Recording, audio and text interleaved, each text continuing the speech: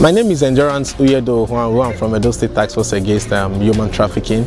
I just finished um, a brief uh, discussion with the Miss Tertiary Institution South South um, beauty pageant contestants and I think it was a very nice one. We talked about the issues of human trafficking and we also uh, enlightened them on the ease and dangers of human trafficking, the, the, the, the, the reason why they don't need to engage themselves in this act. Uh, as we all know, human trafficking has brought a big uh, stain to the name of Edo State and in Nigeria in general. So we are joining our hands together, forming a team to fight the scourge of human trafficking in Edo State and in Nigeria in general. So I urge everybody to join this fight against human trafficking and also irregular migration. And um, for if you have any issues of human trafficking or is suspected or you're suspecting somebody to be a trafficker, call the various um, Edo State Force against human trafficking numbers on your TV screen.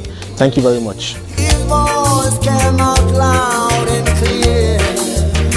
Morena.